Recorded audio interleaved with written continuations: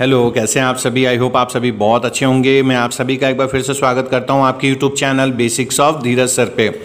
जी हाँ आज हम बात करेंगे एकलव्य आवासीय विद्यालयों में जो वैकेंसी निकली है, ये एक एक्चुअली सेंट्रल गवर्नमेंट की ये जॉब है और ये ऑल ओवर इंडिया इसकी वैकेंसीज हैं और ये आवासीय विद्यालय है। मतलब जो टीचर्स इनमें चुने जाएँगे, उनको वहाँ पर रहने की सुविधा भी मिलेगी और इनका पैकेज भी सेंट्रल लेवल का होता है तो बहुत अच्छा पैकेज मिलता है। आप लोग सीटें मत देखिएगा। देखिए, आप लोगों को एक मानता हूँ भी अगर सेंट्रल लेवल पर देखें तो थोड़ा लगेगा कि सीटें तो कम है, सर। लेकिन ठीक है, एक बार हमें हमारी तैयारियों का भी पता चल जाएगा कि हमारी तैयारियाँ कैसी चल रही हैं। लगभग सेम ही पेपर आता है, आपके मेन सब्जेक्ट बेस ही होगा आपका पेपर अभी उस पर भी हम बात करेंगे। देखिए, इसमें टोटल चार हज़ार बासठ कुछ सीटें हैं, जिसमें से पीजीटी की बाईस सौ छियासठ सीटें हैं और प्रिंसिपल की तीन सौ तीन सीटें हैं। पीजीटी का सेम वही क्राइटेरिया है, जो नॉर्मल हमारे यहाँ पे चलता है कि आप पोस्ट ग्रेजुएट होने चाहिए बीएड होने चाहिए। प्रिंसिपल में वही है कि आपका पोस्ट ग्रेजुएट बीएड होने के अलावा आपका एक्सपीरियंस और होना चाहिए।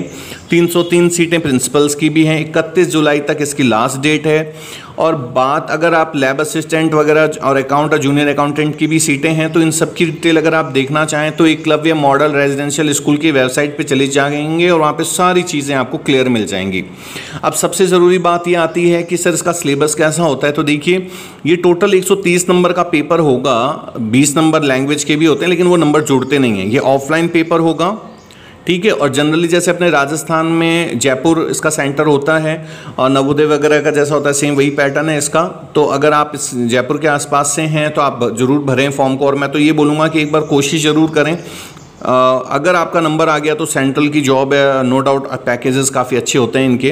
देखिए जीके इसमें टेन मार्क्स की होती है रीजनिंग ट्वेंटी मार्क्स की होती है, बीस नंबरों की। आईसीटी कंप्यूटर के क्वेश्चन होते हैं, दस नंबरों के। टीचिंग एप्टीट्यूड के दस नंबर के क्वेश्चन होते हैं।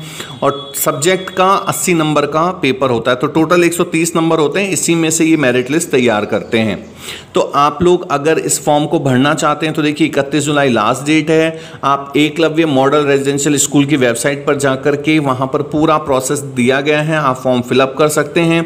हज़ार पंद्रह सौ के आसपास की फ़ीस है इसकी। तो आप लोग इसको ज़रूर भरें। कंपटीशन के दौर में देखिए छोटी छोटी जॉब्स भी जो होती हैं, वो काफ़ी कई बार मायने रखती हैं कि बहुत से लोग फॉर्म ही नहीं भरते हैं कि अरे थोड़ी सी सीटें क्या भरना है। लेकिन अगर रियली में आपने अच्छी तैयारी कर रखी है तो आप ज़रूर फॉर्म भरें।